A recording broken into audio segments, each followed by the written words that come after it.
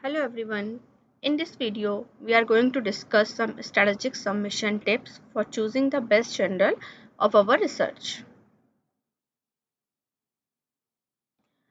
There are some points which we need to consider when we, we are trying to convert our manuscript in publication. That means when we are trying to communicate our manuscript for publication. These points are indexing, theme of the journal, article processing charges, formatting and referencing style. The first point is indexing.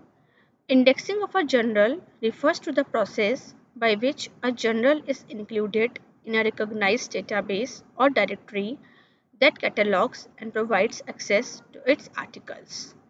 Some widely mm, known indexings are Scopus, PubMed and ABDC. Scopus is a multidisciplinary database covering various fields of science, technology, medical and social sciences and many more. PubMed primarily focuses on life sciences, health sciences and biomedical sciences. While ABDC indexing refers to the inclusion of the journals in the Australian Business Dean Council Journal Quality List, the ABDC is an organization representing the interest of Australian business schools. The ABDC Journal Quality List is a widely recognized resource used to assess the quality of academic journals in the field of business management and related areas. In ABDC General ratings, it varies from A star to C. A star indicates um, highest quality of the um, journal. A is the high quality B is the solid general with good standards of publication but not as prestigious as A star or A. And C generals are the generals that meet basic quality standards but are considered to be of lower impact. What are the benefits of publishing in index general? The benefits are increased visibility, higher citation rates, enhanced academic reputation, and access to a wider audience. The second point which we need to consider is the theme of the journal. See, we are uh, doing a research in a particular domain, so we have to select the journal accordingly. Like the theme of our paper should be matched with the theme of the journal. The theme can be accounting, finance, marketing, economics, human resource management, operation management, oncology, health sciences, medical sciences, social sciences, agriculture, food and nutrition or any other field. Or it can be multidisciplinary as well. Okay?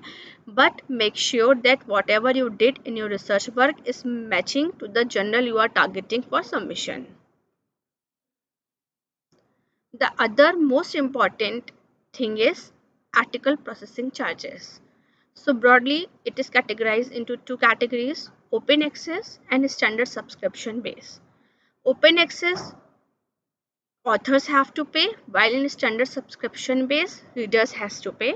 In open Open access assures a wider readership while standard subscription base are available under subscription. Open access gives more chances of getting citation because it is freely available to everyone to read while standard subscription base gives selective availability and it may result in less citations because of selective availability. There are pros and cons of both type of journals. In open access there is a more chance of getting citations so your research profile will improve but um, you have to pay. You um, but in case of standard subscription base um, you don't have to pay but at the time the availability of the your article will be limited and it might result in less citations. So you have to choose wisely. The next point which we should consider is formatting of manuscript. So many times first time researchers or students ask that ma'am what kind of formatting we should have in our manuscript? So there is no one right answer of this question it all depends upon the uh, journal you are targeting.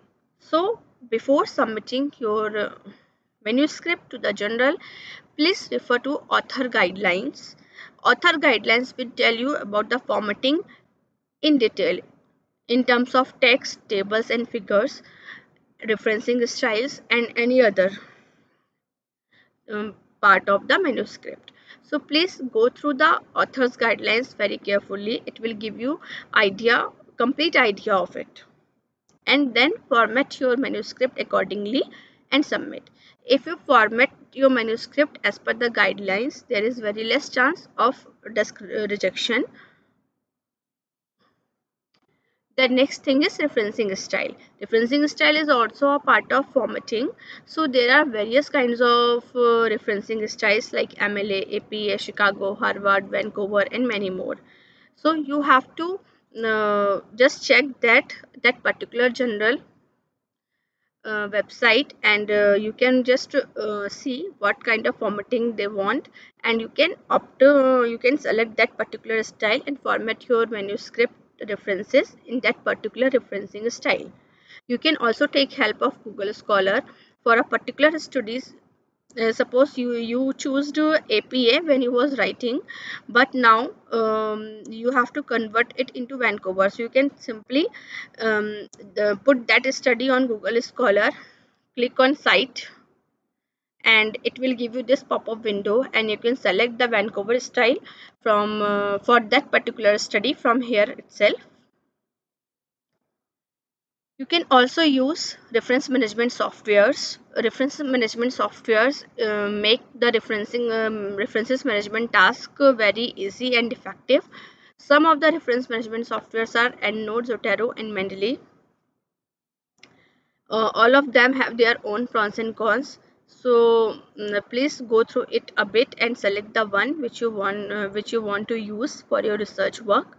And um, the discussion of uh, using these uh, softwares is not the scope of this video. If you want me to make video on reference management software please let me know in the comment section. Thank you for watching